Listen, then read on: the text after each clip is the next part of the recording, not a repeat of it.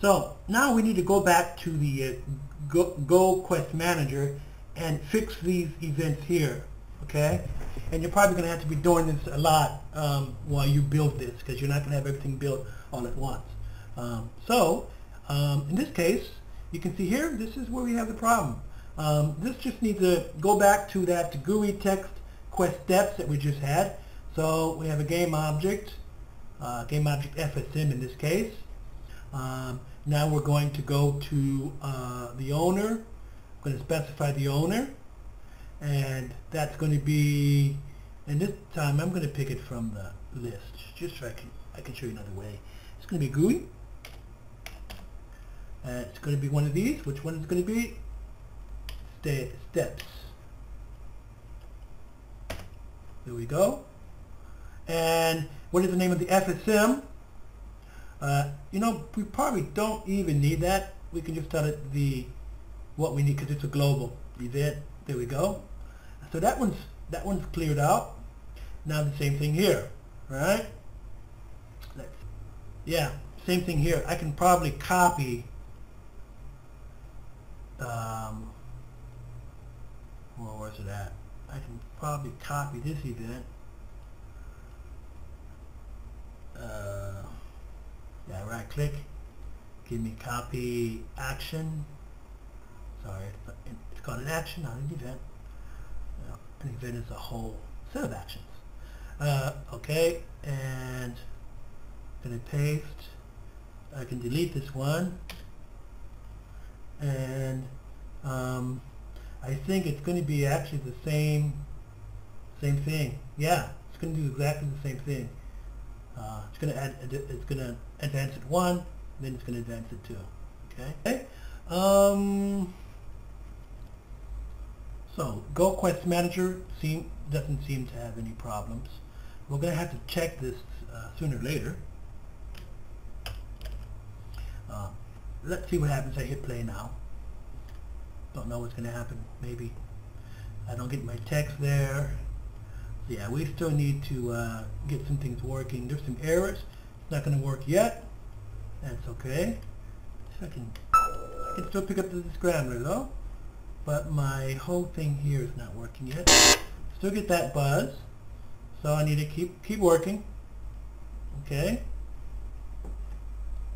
You can see here that my counter is showing up on the screen. Okay but my text isn't yet because it's not ready. So um, let's uh, let's go back now. Oops, sorry.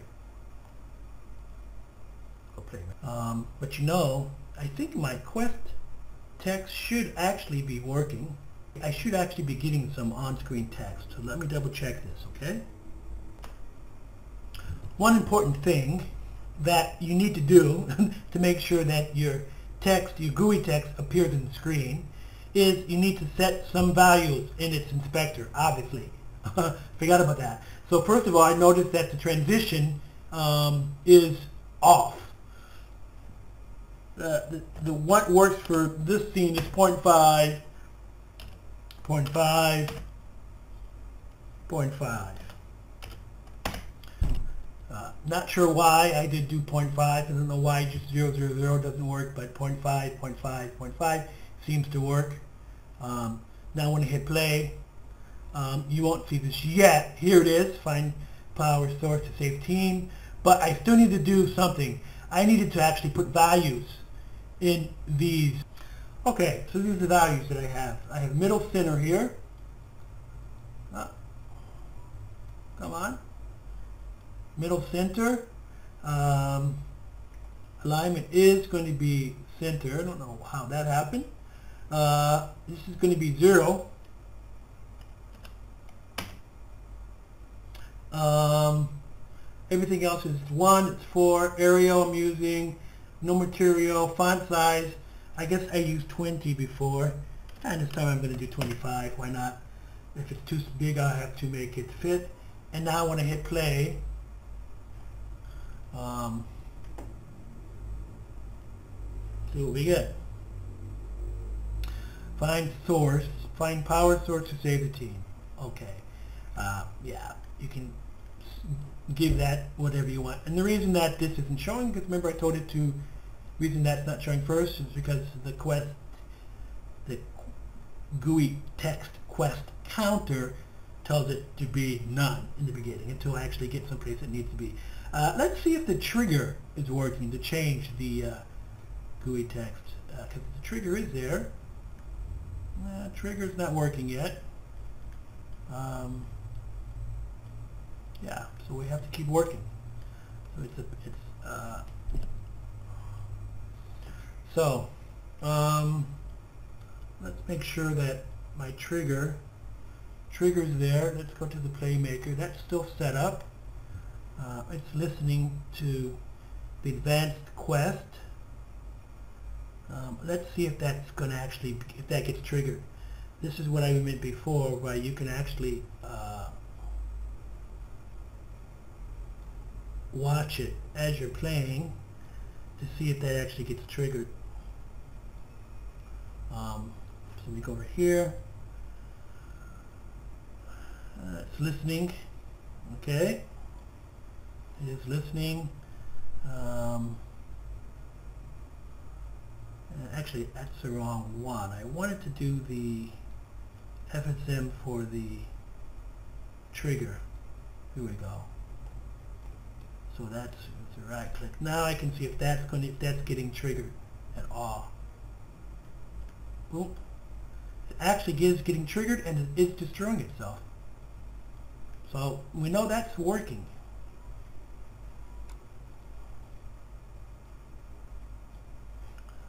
Let's see quest text. I still have one error. That's has to do with the cargo door. So that shouldn't do anything. That one error should not affect. We don't have the cargo door set up yet. So let's see if this is getting uh, quest steps. If this is getting updated.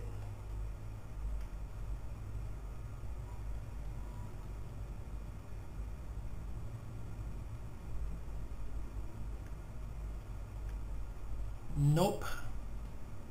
Look at that. That's not getting updated. So maybe I have something done spelled wrong. Let's double check it. So it's waiting for the advanced quest stage, which is this variable. We're supposed to be coming from here.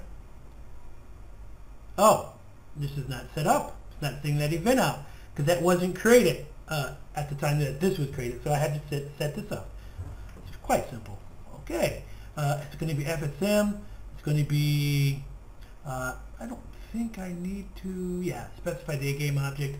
Uh, which game object is going to be send that event to the quest text steps. So it this one? yeah. Oh, so I double clicked and now I have to drag it. Okay. Uh, quest, uh, quest. Click and drag it to here.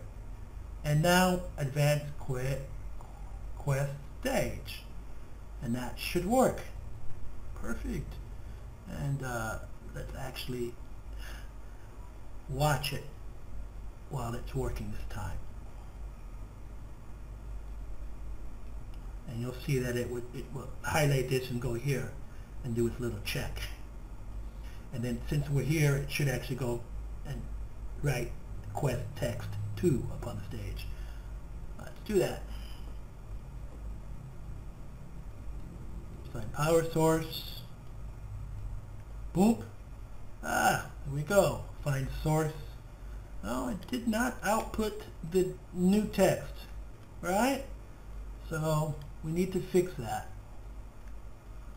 It did um, advance the stage, but it didn't output the text. So, find out why. So it's got to be something in here. Uh, so it's H2.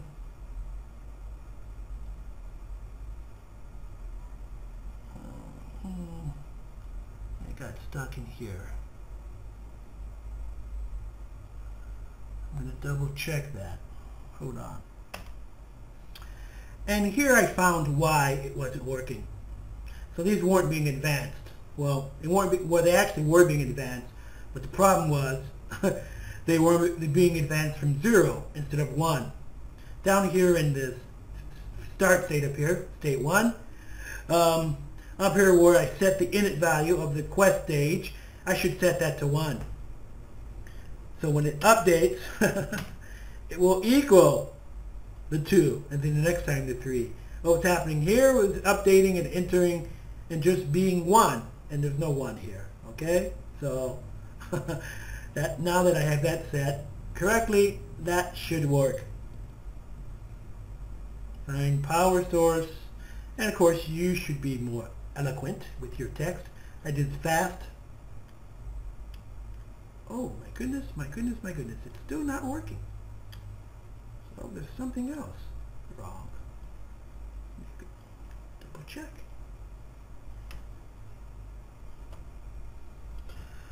Don't know how it happened, but my trigger update quest is wrong. So it's updating the wrong FSM. Should be, um, this is the wrong FSM. Go Quest Manager should be here. So Go Quest Manager should be here. Uh, and the FSM should be um, Advanced Quest. Um, so now that should work.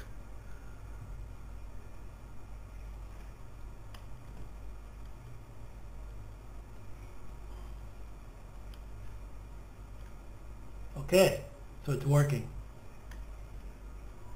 Okay, you can see it's updating the counter and the text. Next time I go, it should update this to 1.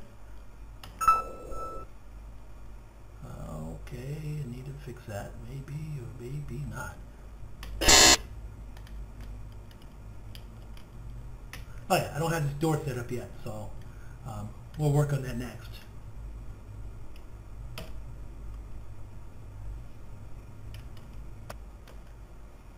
So the other problem is the counter not being updated. Um, it appears, comes on screen, but then when I find the descrambler, it does not update. You can see here I had the FSM of the, the scrambler opened, and the scrambler does disappear. Um, it just doesn't update the um, view. Well, the reason that reason that is because remember I, I didn't always have my uh, manager there. I, I deleted my manager, did it from scratch. So that means I need to tell the descrambler to update my uh, the descrambler trigger, I should say, to update the appropriate manager. So it's not going to be here. It's not going to be when I pick it up. It's going to be when I notify. Yeah, notify and destroy. Where wouldn't you know? Look at this. Um, so it looks like we're going to have to go hold on.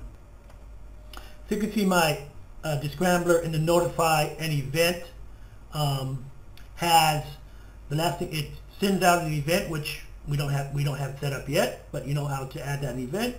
Plays the sound, same thing you add, go to the action browser, hit play, find that action, hit play, you can hit play sound, play play sound here. Um, then you basically tell it it's going to be coming from the same, from the trigger, from the owner. Then you drag the sound file in here. That's pretty much it. Then this, all, all this other stuff actually just locates the, uh, the scrambler in the scene and then finally destroys the light, destroys the whole scrambler um, uh, prefab. But anyway, what we need to do to make our GUI text work is this first one here, send event. Obviously, you need to send it before it destroys itself. So it's the first thing it does, send an event. It's going to be uh, uh, object FSM. Um, we're going to specify the game object. It's going to be the quest manager. That's what we were missing before. Go quest manager. Drag it in here. Um, and it's going to be called the scrambler collected. Of course, that's going to be the um, a global variable that, no, that's Scrambler help, sorry. uh, oh yeah, that's actually the the global variable in the uh, other event, right? Um, this has a few event, a couple events here, but this event is the scrambler collected is actually on the Go Quest Manager, which is here. And now the scrambler collected should be called, should go here and uh, update that.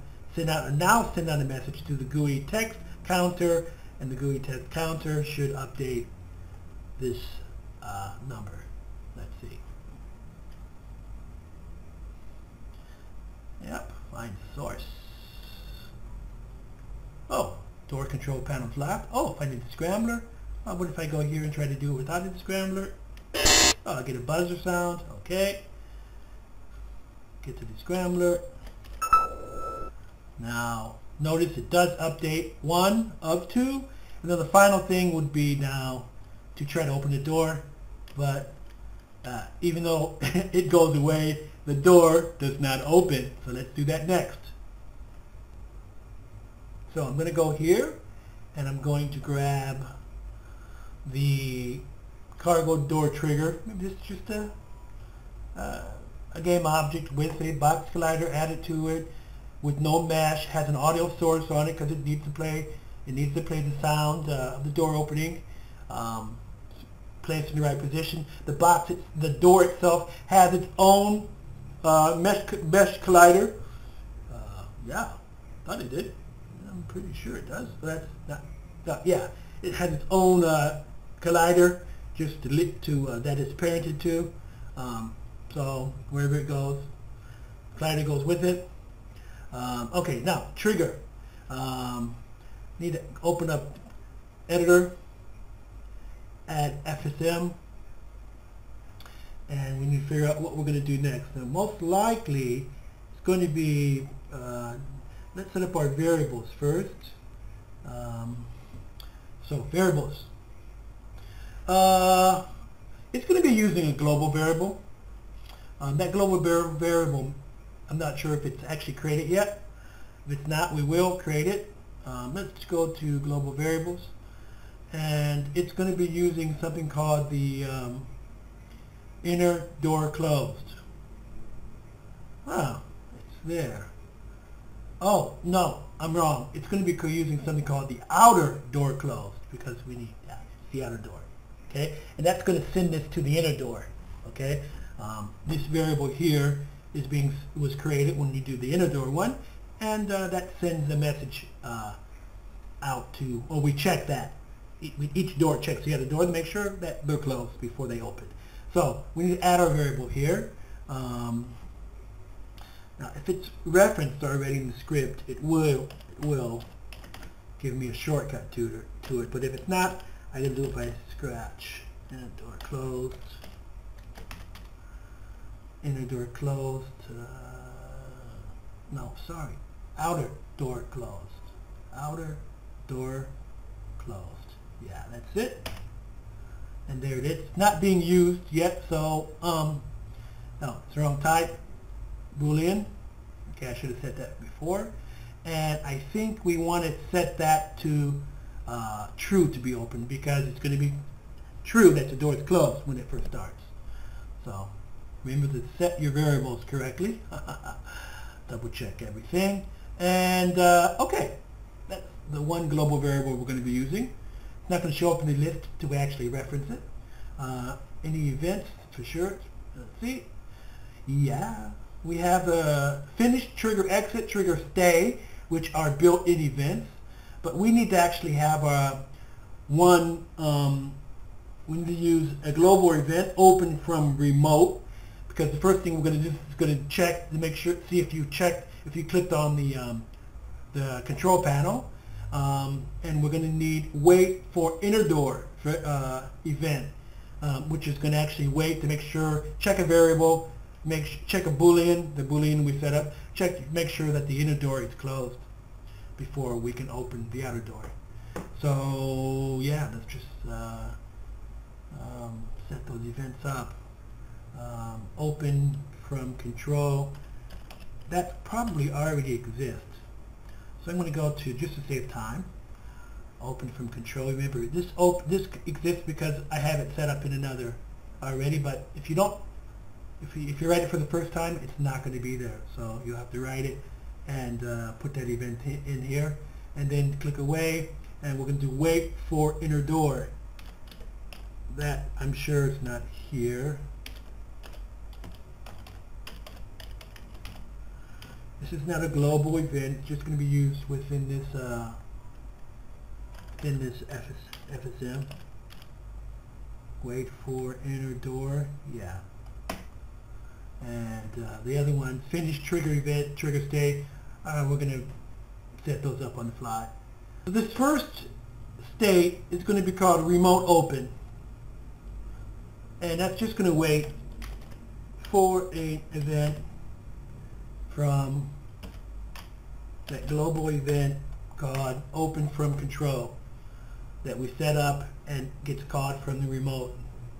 So since we have it set up, I can add it here, open from control. Okay. Now once that gets done, let's take care of this. We're going to go down and do the first opening of the door, then we're going to loop through and delay and check and do a bunch of other things. But now we have one that's called opening.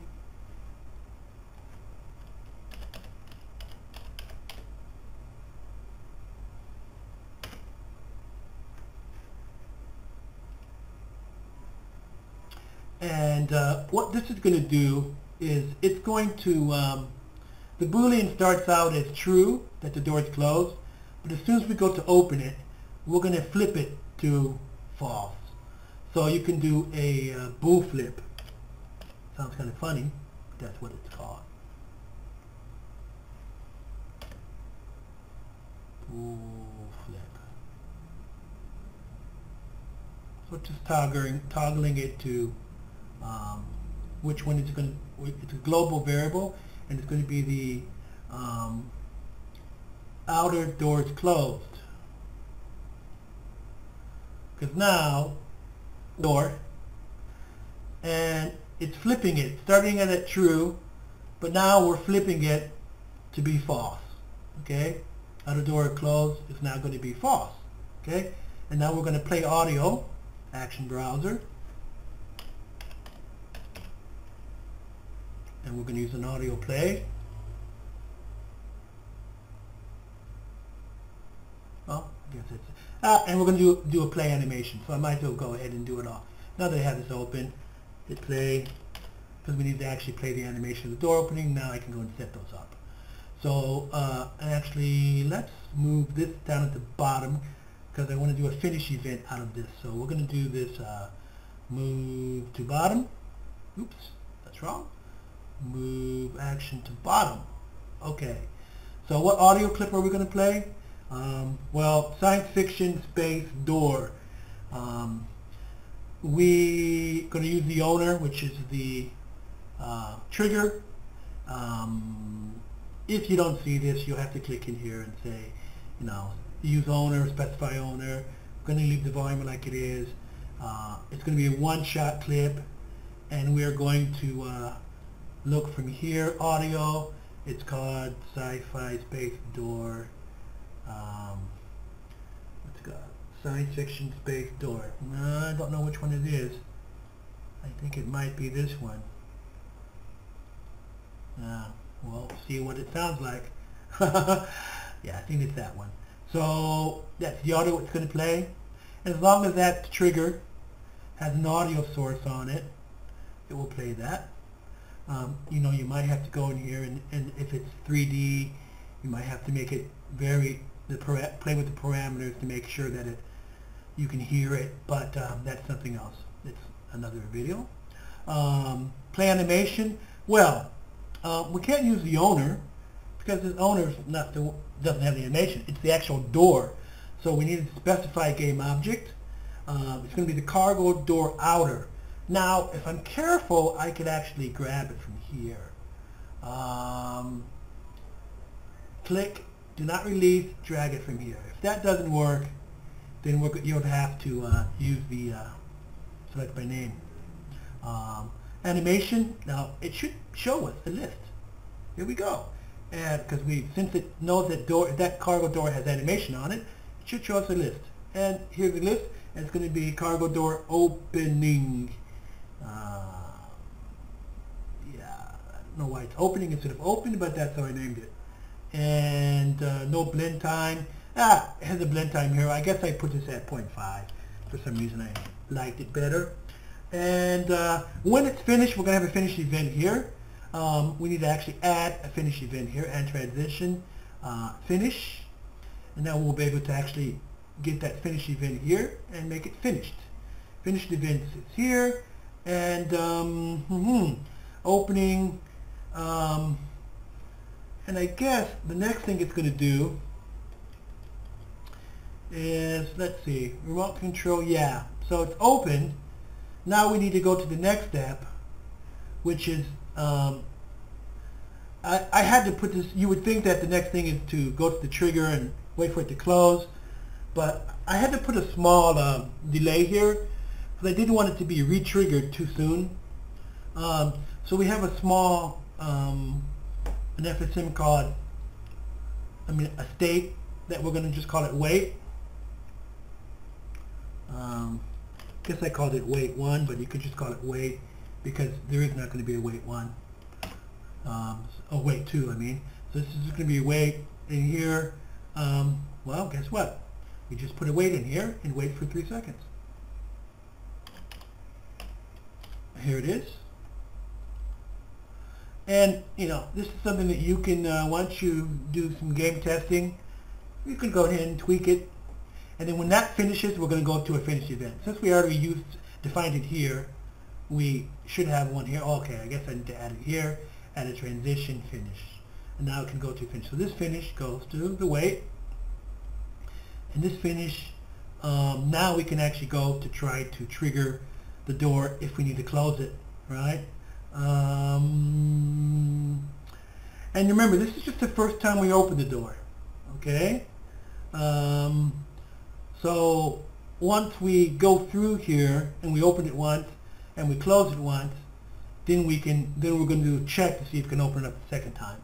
Because the first time it's quite easy because it's the first door that she opens. Uh, and then of course we need to close it before the inner door can actually open. So we're going to do one loop and then we're going to do a check after that. So we're going to do here at state uh, and this is going to be this is going to be the actual open state when the door is open, we need to now um, wait for the trigger event to actually close the door. Um, and this is going to be a trigger exit. Uh, yeah, I think, yeah, trigger exit. Because she, she obviously triggered it. For, well, actually, this is remote, so there's no trigger that even happened yet. So uh, this is going to be, now this is gets tricky because I always forget what these at. This is a global uh, system event trigger exit. Yeah, okay, that was pretty good. Trigger exit. Now, um, it's going to go here, wait for a trigger exit. Now here, what we just need to do is um, send an event that uh, make sure that, let's say the player just walks away while the door is opening and never comes back to trigger the door closing. Well, we need to actually uh, add a um, send the event to actually close the door. Okay, if the if the uh, if, if the character just left the door open, bit of cleanup. So send event. It's going to be itself. It's going to what do we want to do? Send trigger exit. Now, um, yeah, send trigger exit. And that's just this event here, which is going to tell it, hey, the trigger's been exited, even though it hasn't.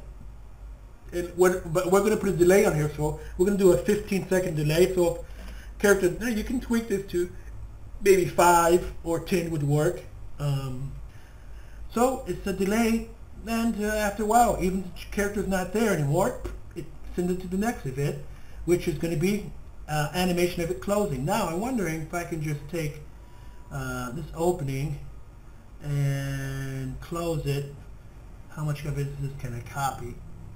Um, I can audio play, play animation. I can actually copy uh, almost this whole thing and just rename it. So I'm just going to copy this state. Then I'm going to paste the state. Oh, sorry. Paste states. Yeah, I don't know why that happens. And I'm going to actually rename this one closed or closing, closing, closing, closing. This is closing. I don't need this boolean flip anymore, so let's delete that. Uh, remove, remove, what's that? Remove action. Audio, um, it's going to be the same audio, the door of the, of it. Oh, yeah, by the way, I just need to go to here, okay? Um, this has a finish, which we do need. And now we're just going to ch change the animation. Uh, audio play, um, science fiction door. No, I think that's the same one. For some reason I turned the audio down, down on this, but we don't need to. Um, we are going to change the animation to cargo door closing. Now yours um, might be named differently if you, depends on how you named your animation. Um, but you need an animation of the door closing and an animation of the door uh, opening. Okay? Um, so after it closes, now we need to have the trigger event where um, it's just going to actually wait for someone to open it. Okay? Um, so yeah, make it add a state. Name of this state is going to be uh, closed because in its closed state, it's now going to do another trigger event. But you know what I'm going to do here? I'm going to actually uh, not do a trigger uh, enter. I like a trigger stay. So that means as long as the character's staying there, it will um, it works a little better the way that I have it set up. It it actually opens the door, then it waits a couple of seconds, and then it actually um, well, you'll see how it works. It won't automatically re-trigger if you um, leave. I mean, it, well, actually, you have to stay there, or it will just close by itself. Okay. Um, let me see. Exit. Trend. Oh, global event. System event. Trigger. Stay. Yeah. So this this is for the trigger stay and sets the doors close bool, boolean to true. So now that the door is closed, we need to reset the boolean. Actually now from closing we can actually from the finished we can go here. Okay, and then from um, from closed uh, we need to set the bool back to um, be true that the door is closed. So we're going to do set bool and um, what variable inner door is uh, an outer door is closed. Outer door is closed. Um, set it to true. This means true, that means false. Set it back to true. And now if we loop this, then we couldn't check for the other door. We need one important thing. We need to check to see if the inner door is open or closed. And if it's open, then we can go, we have to wait for it to close. And if it's, if it's closed, we can go directly into here and uh, open our door after we go to the trigger. Okay? So, um, now we're going to do an inner door check. Add state.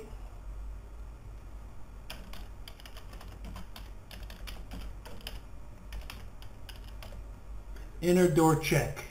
Uh, let me spell exactly like I spelled it before. This is probably not that important, but it might be. Maybe I reference it from someplace else and I uh, inner door check. And I guess I didn't have any spaces. Inner door check. Um, now the inner door check obviously needs to check, do a Boolean test. Um, so we're going to do here action. Actually, uh, we know that's going to come out to here and do the inner door check before it can actually go to the opening, right? So here we inner door check. Uh, we need to actually go here and, and look for a uh, bool test, which is a boolean test. True or kind of kind of true or false. Kind of. On or off, one or two. No, basically true or false. So what do we need to check? Well, hmm, uh, it's a global that we have set up. Once again, if we've set up this global before, we'll see it in this list. And we're going to be checking the uh, inner door closed. Inner door is closed. Okay? Um, because this is the outer door. So we're going to be checking the inner door to see if it's closed. And if it's true that it's closed, we're going to go to the finish event.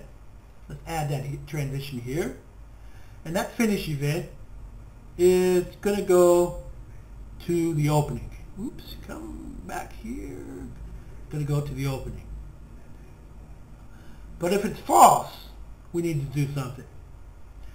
And what we're going to do, we're going to go to a small event that's just going to be called, uh, oops, let me double check something. Events? Oh no, I have an event here that's called wait for the door. That's fine. Okay, so yeah, we're going to do wait for the door. Okay, and of course we need to add that here um, transition event, wait for inner door. Oh, sorry, sometimes it does that, add transition, uh, what was that going to be? Finished. Sometimes it overrides that one if you have it checked. So finished is going to go to delay. No, no, finished is going to go to opening. No, no, no, sorry, yeah, finish is going to go to opening. And wait for inner door that's wrong. You're going to go someplace else, but I don't know how to delete this. Uh, delete this link. Uh, link style. Nope. Nope. It doesn't let me clear. Nope. Doesn't let me delete that. But okay, I'll just make the next one, and it's going to be a, it's going to be a delay. It's going to be called delay. Okay. Uh, add state. This is going to be called a delay. Okay, that's exactly what it's going to do. And now I can just make that go to that delay. And now uh, it's going to delay for a number of seconds uh, to make sure that it can recheck the trigger if you're still standing in the trigger and then uh, check to see if uh, the inner door is closed and if it is then you can go to the opening because that's already set up to go to the opening right? Um, just test it. So now we need to just put a delay in here. And it's going to be a delay of I think I think I put three seconds. Uh, yeah, oh actually five. Uh, action browser, uh, it's going to be a wait.